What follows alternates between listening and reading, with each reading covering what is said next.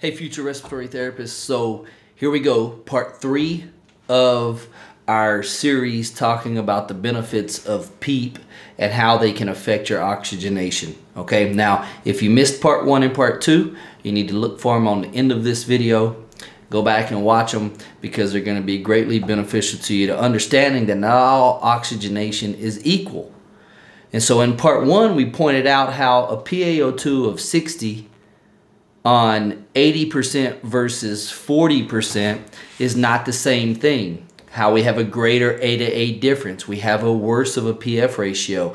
And we showed you how we're not as effectively oxygenating our patient with a higher FiO2 and a lower PEEP versus with a higher PEEP and a lower FiO2.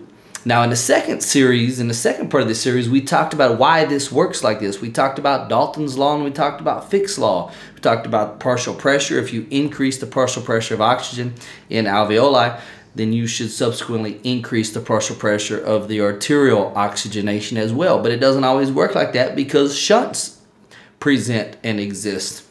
And so, in that second part, we talked about how Fick's law states that if we increase surface area and decrease permeable membrane thickness, then we will increase diffusion, which increases oxygenation. That's part one and part two. Now, this part is talking about finding optimal PEEP. How do we know when we found optimal PEEP and how do we know when PEEP has become a problem? Because I've been telling you how good PEEP is. But now I'm here to tell you that PEEP can also be a problem. Okay?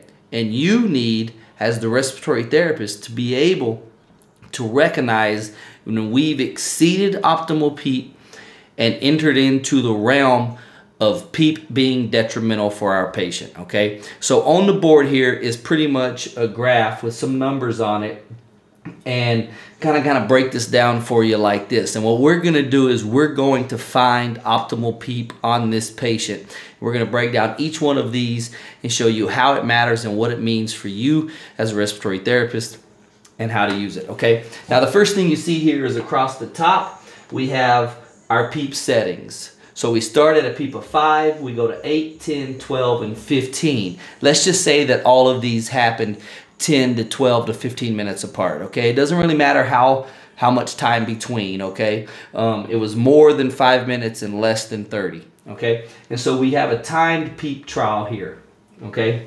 Now, we know that as we increase PEEP, we will get our alveoli to a state to where they are closer to their lower inflection point on their pressure volume curve, which I'm going to do another video. It's not part of this series, but I'm going to do another video talking about optimal PEEP or just PEEP settings in general related to the pressure volume curve because or the pressure volume loop because that loop itself can give us a lot of insight into PEEP and and minimal PEEP and optimal PEEP and things like that. So hang tight and we'll get that to you. But we know that as we get to a more effective PEEP level, that we should start seeing a smaller difference between PEEP and plateau, which should equate to an improving static compliance.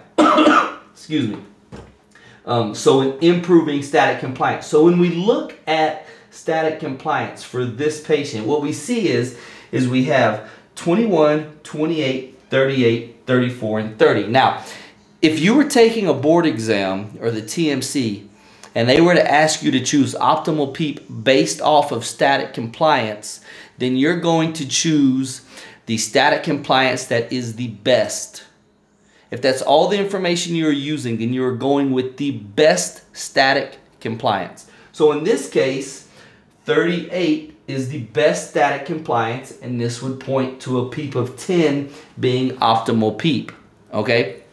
And um, that would be true in this case in regards to static compliance. Now, as we keep adding PEEP, plateau pressure will continue to rise. The difference between PEEP and plateau, okay, will now get larger. And as that happens, we are indicating that we've gone from a state to where the difference was getting smaller but now it's getting larger, which means we have now entered a realm of overinflation. We are holding the PEEP at a state that is now beyond a comfortable state for those alveoli. And so we are now overexpanding during the inspiratory phase. And when we do the plateau pressure, we see that our compliances start to go down. This is the result of it increasing, or this creates an increasing intrathoracic pressure. Now, increasing, in, excuse me, increasing intrathoracic pressure results in an effect on our cardiac output. Okay? Because when the intrathoracic pressure gets beyond the point of optimal, then it starts to squeeze on the vessels, the great vessels, and it starts to impair venous return. This decreases the amount of blood flow that is returning back to the right atrium. If the amount of blood flow returning back to the right atrium is impaired and decreased, then obviously the amount of blood moving through the pulmonary circulatory system and back to the left side of the heart is going to be decreased, which means your cardiac output is going to be decreased.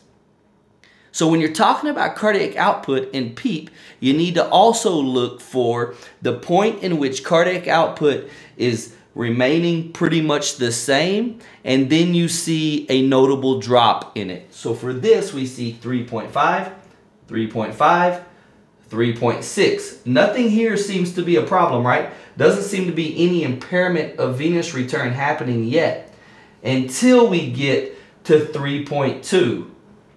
So the difference in 10 and 12, the PEEP of 12 caused an impairment of venous return, which has directly impacted cardiac output. And then as we go to 15, we see it even greater, down to 3. Okay, so we want to make a note here. Where's our best optimal PEEP related to cardiac output? Normal, nor here we go. Everything seems to look good. And then we have a decrease, right? So again, 10 is our optimal PEEP for this patient related to cardiac output. Now, cardiac output and blood pressure are directly related. If your cardiac output goes down, then your blood pressure will most likely also go down. So for those of us who don't have hemodynamic monitoring happening, when I say cardiac output, you may think to yourself, well, how do I know if cardiac output has gone down? Well, the answer to that question is watch your blood pressure.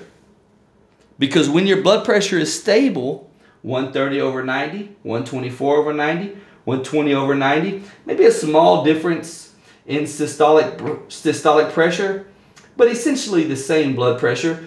But uh-oh, from 10 to 12, we go from 120 over 90 to 106 over 74 we obviously have a problem happening here, right? So our optimal PEEP happens to be here. The drop in this blood pressure is telling you that when you went from 10 to 12, the heart did not like that.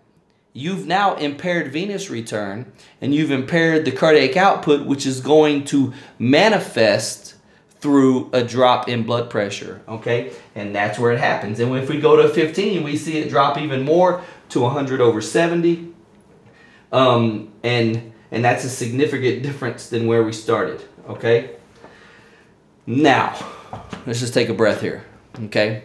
We've talked about static compliance in relationship with plateau pressure, okay? So don't have plateau pressure written up here excuse me, I'm still get trying to get over this cough. Um, static compliance is related to plateau pressure, specifically the difference between plateau pressure and PEEP. As it goes up and then starts to decrease, that is your point of optimal PEEP. When it starts to decrease, you will see an effect on venous return. Venous return will directly impact your cardiac output. Cardiac output will directly Im impact your blood pressure. Cardiac output and blood pressure will directly impact your oxygen consumption at the tissues. So, what does that mean? That means that when arterial blood goes out with oxygen, it should come back with a certain amount of oxygen. And there's an indication of oxygen consumption between PaO2 and PVO2. Okay? Now, when we talk about PVO2, we're talking about a, a, a, partial pressure of oxygen in the mixed venous blood. Now, to get this, you truly have to take this sample from essentially the um, right atrium to where you get the mixing of superior vena cava and the mixing of inferior vena cava blood, and you get a true mixed venous oxygenation um, partial pressure reading, okay? The normal here is around 40, okay? But my point is this, the lower your PVO2 is, especially in conjunction with a loss in cardiac output and a loss in blood pressure, then what it tells the tissues is, is when they sense that loss in pressure, they say, grab more oxygen, grab more oxygen. Like, well, you better get it while you can, right? And so that leads to a greater level of oxygen consumption.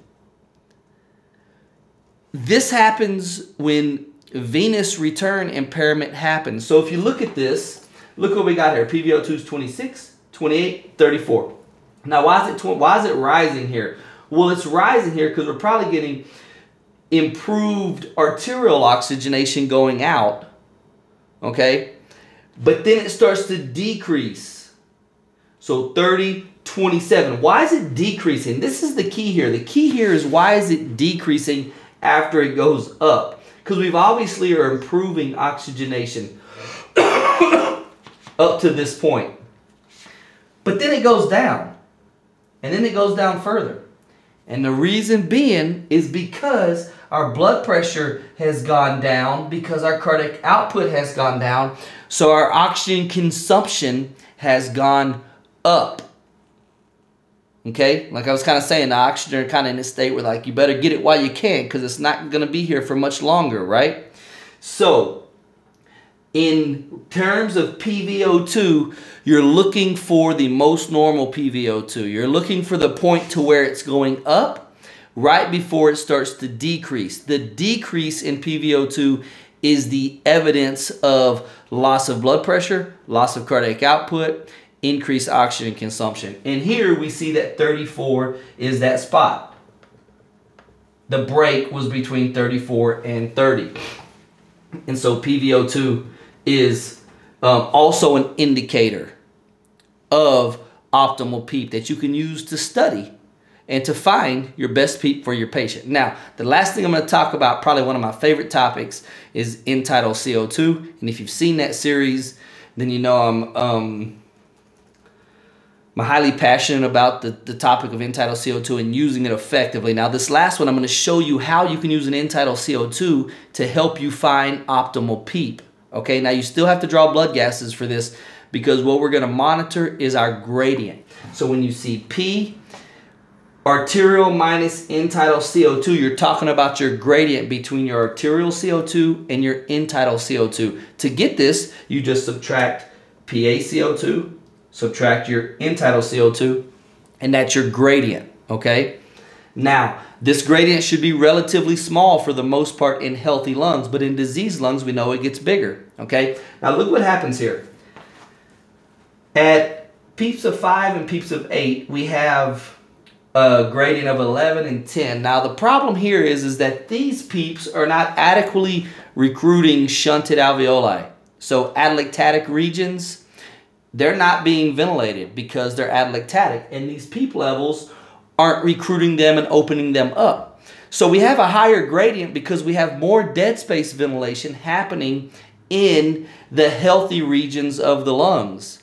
So that, that 450 ml tidal volume that you're putting in the patient is all going to the healthy regions. Well, the more you stretch and expand, the more dead space you have because not all of that gas participates with gas exchange. So this is why this is elevated and goes down until we see 6 here. Now this is the smallest gradient. The larger your gradient, the larger your dead space. The smaller your gradient, the smaller your dead space. Okay? So we can see here clearly that 6 is our smallest gradient, which means wherever we are here, which is a PEEP of 10, results in the smallest amount of dead space ventilation. Now, watch what happens when we go up to 12. Dead space, or our gradient goes up. Now, why did our gradient go up to 13? And then when we went up further, it went up to 15. Well, the answer is this. Go back to your cardiac output. Over here at 12, we started impeding venous return, which means less blood coming back to the right side of the heart, which means less blood going out, hence the decrease in cardiac output, hence the decrease in blood pressure. Now, if you have less blood coming back to the right side of the heart, then you have less blood going through the pulmonary capillaries, which creates an instance where you have ventilation greater than perfusion, which is the definition of dead space, which is why you see your gradient increasing at the point in which we see our PEEP impeding venous return. So clearly, this is the break and a gradient of 6 is our best gradient, which is yielding us the lowest amount of dead space ventilation and the best VQ ratio for our patients. So when we look at this, our static compliance broke here, our cardiac output broke here, and then we know everything else broke here. For this patient, our best optimal PEEP is a PEEP of 10. Now, use that information to go pass your board exams okay? And then, can we start doing this stuff in the clinic, guys? What I want right now is everybody who works in a facility where who does 15, 20 minute PEEP, PEEP incremental trials, who monitors cardiac output, blood pressure, static compliance, PF ratio, or um, end-tidal CO2 gradient, PVO2. If you're monitoring that and you're actually performing PEEP studies right now, I want to hear about it and I want to know how you're doing it. Okay, can we get past all of this PEEP of 10 because that's what we do? Oh, they need more, let's go to 15? Like, what is that? We're just guessing. We're better than that, guys. This is the stuff right here that makes us respiratory therapists. And we got to start utilizing it. So people look at us and go, Why are you afraid, doc? We didn't see detrimental effects associated with PEEP until we got to 17. So 15 is okay. Don't be scared. That's our job. Okay, guys? Trust me. Hope you learned something from this video. Look forward for my upcoming videos um, associated with more things revolving around PEEP, the pressure volume loop, also um, things such as uh, alveolar tidal volume, and minute ventilation and alveolar minute ventilation. How does that matter? And how does that make you a respiratory therapist, which sets you apart from everybody else? If you like this video, please hit the subscribe button, turn on notifications so you know when the next video comes out. And by all means, throw me a comment. I'd love to converse with you. Best wishes.